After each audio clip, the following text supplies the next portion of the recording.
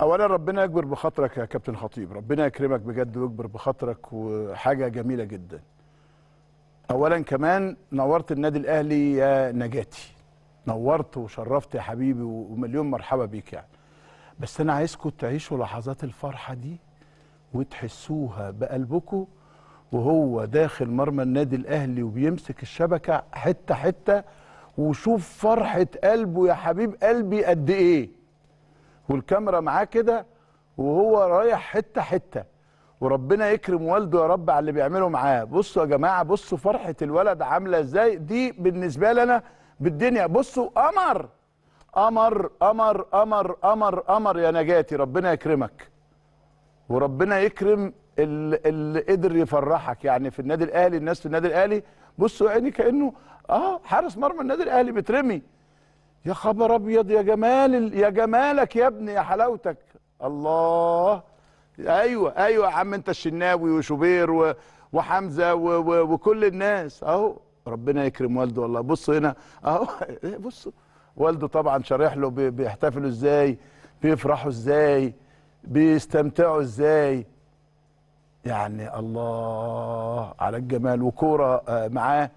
ومن حارس مرمى هيبقى هداف. بصوا جريته في الملعب وفرحته. بص أبوه جماله. بص الله بصوا الابتسامة. بص السعادة بص الفرحة. يا جمالك يا ابني والله. بصوا مع الكؤوس. أهو عمال يا عيني يشاور وكأنه شايف. أوعى تقول لي الرياضة وكرة القدم ده أي كلام. لا. دي من أحلى لحظات عمره. دي من أسعد لحظات عمره. ووالده الأستاذ أسامة الدسوقي عمال يشرح له كل كاس لأنه مكتوب على كل كاس حكايته وقصته أو الكاس ده بتاع إيه؟ اليوم الجميل اللي عاشه في النادي الأهلي الحقيقة. على فكرة اللعيبة زعلوا إن هم ما ما ما شافوهوش لأن كلهم عايزينه بس هو راح من بدري من الساعة 11 والتمرين كان الساعة 6 باين ومشي حسب ما علمت الساعة 3 هو داخل آه، غرفة مجلس إدارة والصديق العزيز طارق قنديل بشكرك الحقيقة إنه كان ليك دور كبير جدا كابتن الخطيب وهو في انتظاره. دكتور سعد شلبي مدير عام النادي الصديق العزيز اللي هو خالد آه، مدين. يا جمالك يا خطيب والله.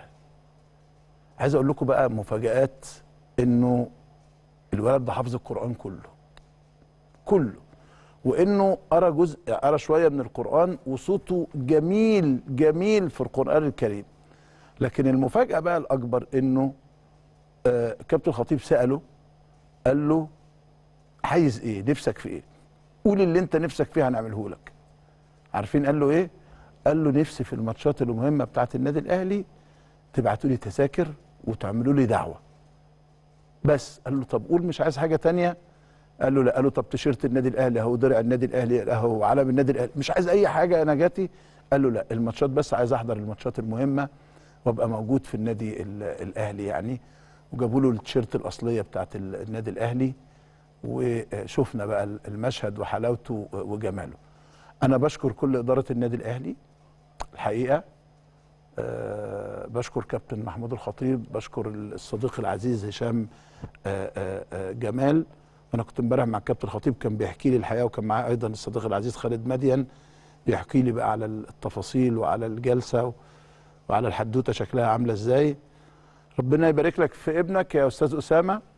ربنا يكرمك يا حبيبي يا يا نجاتي ونشوفك أحسن واحد في الدنيا. والله العظيم يعني أنا كده ممكن أختم من الفرحة ومن السعادة وربنا يديم الفرحة والرضا علينا جميعا يا رب.